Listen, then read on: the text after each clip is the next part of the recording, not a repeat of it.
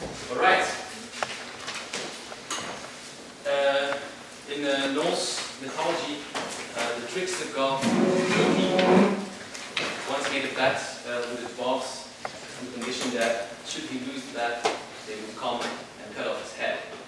Sure enough, he lost the bet, and uh, the dwarves came. And uh, Loki argued that though they had every right to take his head, they uh, were not allowed to touch any part of his neck. Um, so, you know, the two parties discussed the matter and um, uh, tried to decide which body parts belong to the neck, which uh, parts belong to the head. And as it happens, they never sorted it out, and uh, you know, according to legends, they're probably still discussing it uh, until the end of days. Uh, in argumentation theory, um, Loki's wager is known as the uh, unreasonable or um, stubborn insistence that concepts should be uh, clearly defined, clearly uh, delineated, um, and uh, before you can make any meaningful uh, statement about it. So on to the demarcation problem. You probably know uh, what I'm getting at, or where, where this is going. Uh, we have, you know, seen that there, uh, there has been a backlash against uh, the demarcation problem. Nowadays, it's, it's widely accepted that there's uh, no such thing as a silver bullet to uh, separate uh, science uh, from, from pseudoscience. It's now a, commonplace among philosophers, at least those who are still enthusiastic about the demarcation project, to, to admit that there, there is no crisp and clear-cut distinction between science on the one hand and non-science on the other hand, but that we have a continuum all sorts of shades uh, in between. Uh, now, other philosophers would, um, would uh, insist that unless you have such a crisp distinction, where you can um, decide in, in, all cases where a certain theory, a certain discipline belongs, you cannot have any meaningful discussion about terms uh, science and pseudoscience. Uh, Larry Laudan, for example, he um, argued that uh, the very term pseudoscience uh, suggests a very naive and misguided uh, conception of science and uh, should be erased from our vocabulary uh, altogether. Um, so the question I'm going to ask or try to answer in this talk is, are those who still insist along, along these lines that the demarcation problem is untractable, are they committing the fallacy of, um, of Loki's wager, or they trying to distinguish the head and the neck? Um, the short answer will be yes. Slightly long answer is well, it depends. Um, there's actually in, in, um, one of the one of the major confusions I think with regard to the demarcation problem is that it has traditionally been uh, the banner of two related though uh, distinct uh, distinct problems. And I actually think that, this connects well with uh, Sven's talk uh, about um, uh, the, the, the, fact that not everything that falls uh, outside the category confines of science should be uh, dismissed as pseudoscience. Uh, are uh, non-scientific but not pseudoscientific. And if you go back, you go back very quickly to uh, one of the, you know, the formulations of the problem that um, instigated the modern version of demarcationism. Um, in, uh, in, Popper's uh, Logic of Scientific Discovery, which was published in, in German in uh, 1934 already, you, you uh, see that he's mainly interested in uh, the distinction between empirical sciences on, on one hand and uh, such disciplines or such endeavors as metaphysics and mathematics and logic uh, on the other hand.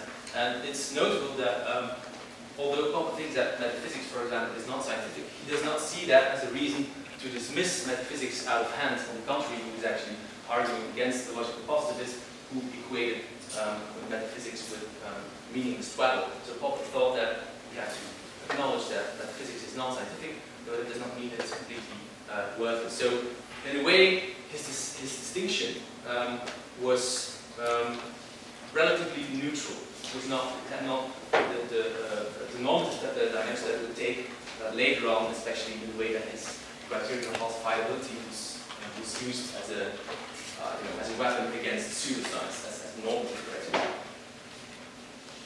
And indeed, you see in conjectures and refutations, um, Uh, Popper starts out with um, his, his, his fascination with um, a couple of theories that were involved then were making headlines. On the one hand, Einstein's uh, theory of uh, uh, special relativity, and on the other hand, uh, the theory of uh, Freudian psychoanalysis and certain Marxist theories. So uh, Paul started out with the idea that there was something suspicious about Freudian theory, something, uh, you know, uh, something fishy, and he wanted to sort, sort out, pinpoint what exactly uh, was, uh, was the underlying problem. Then he came up with um, uh, this criterion of falsifiability, which he used to dismiss those theories, not, not as, as valuable, not scientific, but really as pseudoscientific. This is where the, the, term pseudoscience pops up. So, um, I think that we should distinguish between those two different strands um, that are um, often um, inflated or that are, uh, uh, you know, brought together under the umbrella term of the demarcation project. So on the one hand, you have a, a normative demarcation uh, issue, which is one with real teeth, uh, the one that distinguishes genuine uh, bona fide science uh, and pseudoscience, and then you have um, uh, the territorial uh, demarcation problem. Uh, the normative demarcation problem um, is, is, well, I call it normative because the term pseudoscience is intrinsically derogatory. There's nobody who, you know, who wants to uh, to have a PhD in pseudoscience, as in uh, Massimo's cartoon, or who is proud of being a pseudoscience, is something that people use to, uh, to, brand, to brand each other, you know, to, to, dismiss each other's research or each other's theories. The, the territorial demarcation project, uh, by contrast, is more concerned with disciplinary boundaries between philosophy, for example, metaphysics, or even everyday reasoning, and it does not involve epistemic warrant per se. So um, the decision where certain theory, certain claim belongs, on which side of the line it falls, does not immediately have a bearing on its uh, reliability, I would say, on epistemic warrant.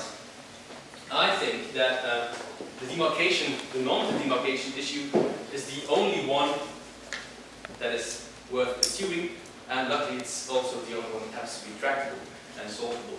Um, though I admit that um, there is no crisp and clear dividing line, um, uh, and neither in the, uh, the normative uh, demarcation um, line and, nor, uh, nor in the territorial demarcation line, but there are additional categorization problems in the territorial demarcation uh, problem that make it uh, less interesting to, to pursue. Uh, I think that those territorial um, boundaries between science, metaphysics, science and philosophy, science and humanities, for example, are largely pragmatic, and sometimes they're just an artifact of the language you have to speak. As Sven said, in German we have a more encompassing, more inclusive word, uh, uh, Wissenschaft, which is, um, uh, has, has, a slightly different meaning than science in English. So I think that it has um, little epistemic import. I don't think that it's completely uninteresting. There are definitely interesting methodological differences for example, uh, as Carol said, between uh, uh, historical sciences and field sciences. but I don't think that they um, they are relevant when we think about epistemic warrants, the reliability of claims, and I think that it's much more difficult to, uh, to pull them apart uh, than it is in, in, in the normative demarcation uh, problem. So, um, I'm going to give two examples of um, philosophers who have, as I see it, conflated the two pro uh, projects and have spread uh, or have caused a lot of confusion uh, by doing so. Uh, Larry Laudan would be my first case, and I move on to uh, the issue of methodological naturalism, and Robert Pennock will be, well, the main target there. Um, very quickly first, why I think that the, the territorial problem is, is uninteresting. firstly, I think let's talk about the distinction between science and philosophy. I think that it's very difficult to disentangle uh, philosophical elements from science. Uh, the idea that you can, you can, conduct scientific investigation without any kind of philosophical background, without any kind of uh, philosophical perspective is, is misguided. It's an illusion, I think. There's always some sort of, uh, whatever you want to call it, philosophy involved. And on the other hand, the other side of the coin is that pure a priori philosophy is uh, well, I wouldn't say that it doesn't exist, it certainly does, but I think it's mostly sterile from, uh, uh, from a naturalist perspective. I think that good philosophy uh, always has to take into account uh, the, um, the best up, up-to-date scientific knowledge that is available. So what we see, if we compare science and philosophy, uh, is that not only are they continuous, which is what science and pseudoscience are, but they're also interdependent. Science relies on philosophy and vice versa. You don't see that in uh, with science versus pseudoscience. Can you continue? all right, but astrologists, uh, I mean, astronomers are not waiting for the latest results in astrology to, uh, you know, to, uh, to pursue their, their research. You see that there's a, there, those are two independent fields and there's not, not a lot of interaction uh, uh, in between each other. okay, um, on to Larry Laudan. In his um, paper on the demise of the demarcation problem, I think he conflates uh, the two strands, the two different versions of the demarcation problem. Uh, and he discusses what, and if, you analyze the text, you see that he discusses um, problems with either of those versions, and he uh, treats them as equally damaging to the demarcation problem in general, generic problem. And he, um, so he treats the two, uh, the two projects uh, in a way as interchanging. Um, and you can see uh, how he does that if you consider two, um, two traditional solutions that have been proposed to the demarcation problem.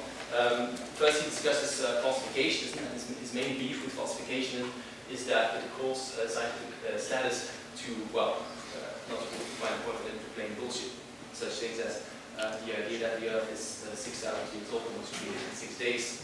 so his, his objection there is that those claims are strictly speaking scientific according to Popper's criteria because they are falsifiable, though, uh, of course roundly refuted. Uh, he calls falsifications for that reason a toothless wonder because it has no normative force. Uh, I think that problem can be uh, dealt with, um, not even within the Popper's framework, I'm not going to go into that. Uh, but what you see when he moves on to the next proposed solution, well-testedness, he has a different objection. Um, the problem with well-testedness, according to Laudan, is that it fails to exclude patently uh, non-scientific knowledge, such as chess strategies, historical claims, military strategies, etc. Those are the examples that he. Um, he thinks that is a, is a problem because those are obviously, obviously uh, not treated as scientific. I don't know how he can make that distinction if he doesn't believe in demarcation, but let's just, let's just skip that. Um, but the problem is, um, if you relate two objections, on last slide and the previous slide to each other, uh, I don't think they're compatible. I don't think that the two requirements can be fulfilled at the same time. Because if you come up with a demarcation line that succeeds in excluding those well-tested knowledge claims from the category of science, military strategies, uh, you know, uh, chess strategies, etc., then you end up with a toothless wonder again, because of course then the problem loses all uh, its, its normal force again. So um, there's another cake there that Laudan wants to have and, and, and, eat too. There was, there was one in the first half, but it was a different one. He's going to get very fat. Yeah, he's getting bread. Well, it depends on what he does with it. Um, so you see that the, the two, so the normative and the, territorial problem are in tension with each other and cannot be fulfilled uh, at the same time. Um, another uh, uh, illustration of the confusion arising from uh, conflating the two different strands within the demarcation problem is um, the concept of methodological natural. Uh, most of you would probably be familiar with, with, uh, with the basic idea. Um, it, it's a philosophical uh, principle uh, that, uh, according to which science is, by definition, restricted to the natural domain. It can only investigate natural phenomena and it can only come up with natural explanations for those phenomena. It has no appeal, it can make no appeal whatsoever to the supernatural. And also, this is important, uh, because of that, uh, it has no authority whatsoever to pronounce, to make pronouncements in the supernatural domain. It just it falls outside of its proper, uh, proper domain. Uh, this has been used by philosophers such as uh, uh, Robert Bannister, but also by a number of scientists, to counter uh, pseudoscience, in particular uh, intelligent design and creationism, uh, and also to reconcile science and religion. We see that the, the, the promise it holds for uh, reconciling science and religion uh, is obvious because if you carve, carve out a special niche for supernatural, uh, supernatural domain that science cannot touch, then you know you you you, you have a way to to pull the two domains apart and, to reconcile them. by doing so. Um, I think that this is confusing, this whole idea of methodological naturalism is confusing blend of uh, normative and territorial elements. Um, on the one hand, it's used to reject pseudoscience and has clearly has clearly a, a normative force. Um, you, you, can see if, if, if you, uh, you know, um, uh, if, if, you um, see in, in, under what circumstances it has been applied. But on the other hand, uh, it has also a, a clear uh, territorial dimension. Robert Pennock, for example, uh, is, is, is careful enough to point out that science, according to him, or according to the principle of methodological naturalism, is about the supernatural. So there is a domain, the supernatural, well, may well exist, we don't know. Uh, at least as scientists, we, we, we, can have no say uh, on the matter. Uh, it, it is the, the, the, proper domain of, well, philosophers, physicians, theologians, etc. Uh, there are a number of problems with this uh, idea of methodological naturalism. Uh, I'm, I'm going to um, briefly you know, list some of them. Um, it's not immediately clear to me why a supernatural miracle claim, you know, the kind that uh, religious believers uh, put forward, why that would be um, intrinsically unscientific if, um, if, if, if, a supernatural intervention in, in, the natural world, in the material world, has empirically detectable, uh, detectable consequences, I don't see any reason why we would not be able to uh, investigate that with scientific means. Evan Fales has written about this uh, in our volume. I also think that inadvertently, this principle of methodological naturalism does a disservice to philosophy because it suggests that uh, only those theories to which we attach the label science can have epistemic authority. You know, it's only science matters, and science has, has, has no bearing on metaphysical issues or on uh, discussions about the supernatural. That is, you know, something do in spare time as a philosopher. It's more a matter of uh, personal opinion, but it's mostly harmless. You, cannot decide by scientific means. The whole idea of reconciling science and religion uh, is uh, dependent on this, uh, this idea. Uh, thirdly, I think that the, the concept of the supernatural um, is so elusive and ill-defined that uh, I think it's it's a bad idea to to erect any kind of um, philosophical argument on its shoulders. So it's it's um, it's it's ill-advised to use them in an attempt to solve the demarcation problem. Um, you can give a ballpark definition of the supernatural just to capture what religious beliefs are getting at, but I don't think that you can, you know, that it's of much philosophical use precisely because it's so uh, vague. Um, so in general, um, I would say that the whole concept of the supernatural as part of a, um, solution to the demarcation problem is a red herring because it bypasses um, underlying epistemic problems um, with, for example, Deleuze design creation, which are not directly related to that label that we just we, we stick to the theory, the fact that it's, it is uh, supernatural. Um, I have no time to go into this, but would, in general, I would say that um, the, the, problem with those explanations is that they're empty. Uh, they, um, they explain everything and nothing. Uh, they're completely ad hoc.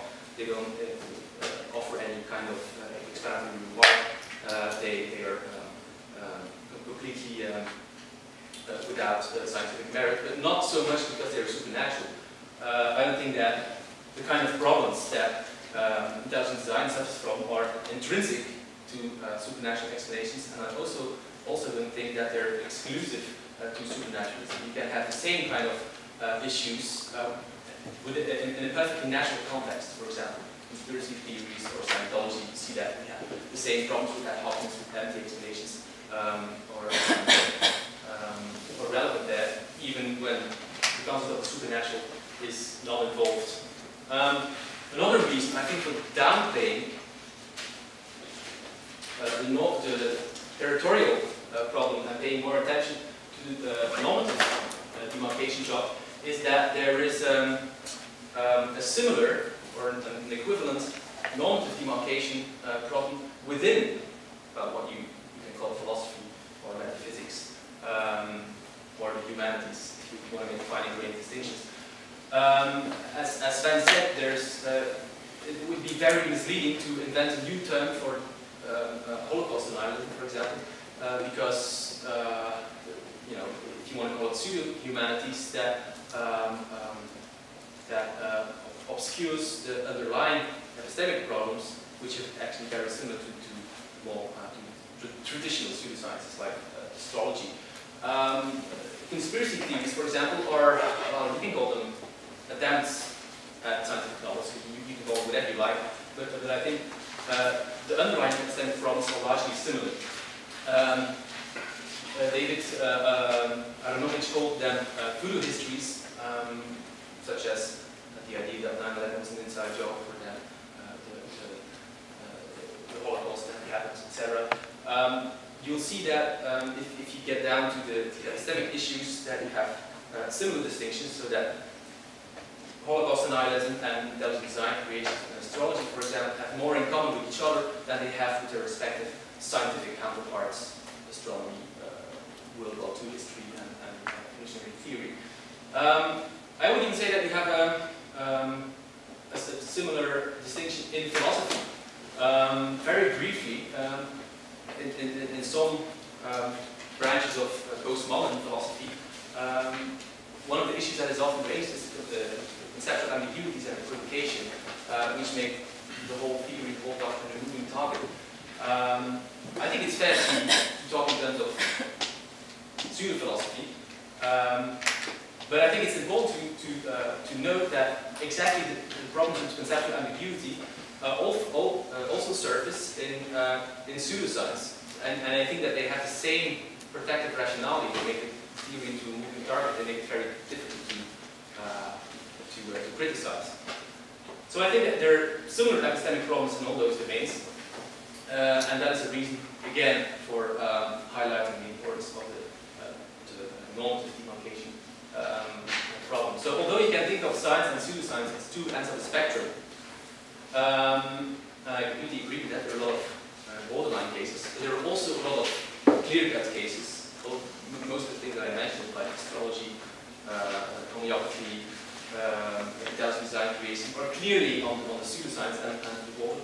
Um, so although we have to keep in mind that there is a continuum, I think it's also useful to, um, to think about demarcations in terms of the, the lower diagram. So you have science and philosophy, for example, on the left-hand uh, side, the left side of the normative uh, uh, dividing line, which are mutually uh, uh, interdependent, uh, which rely on each other and form a continuum.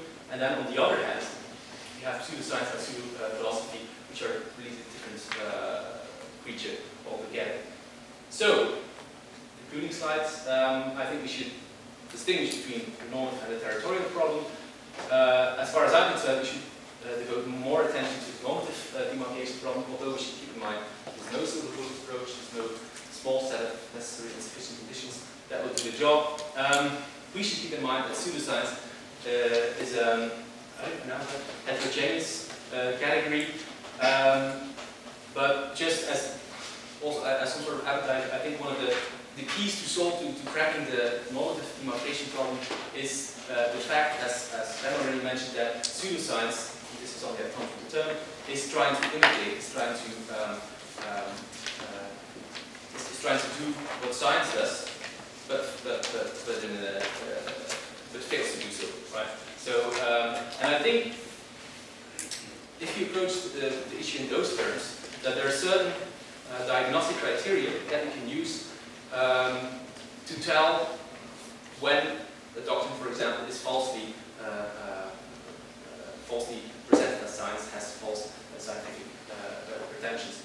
Uh, so this and, and, and, um, and, and similar issues are explored, and the book once more um, a bit of self-promotion, and then I'm going to stop. Thank you for your attention.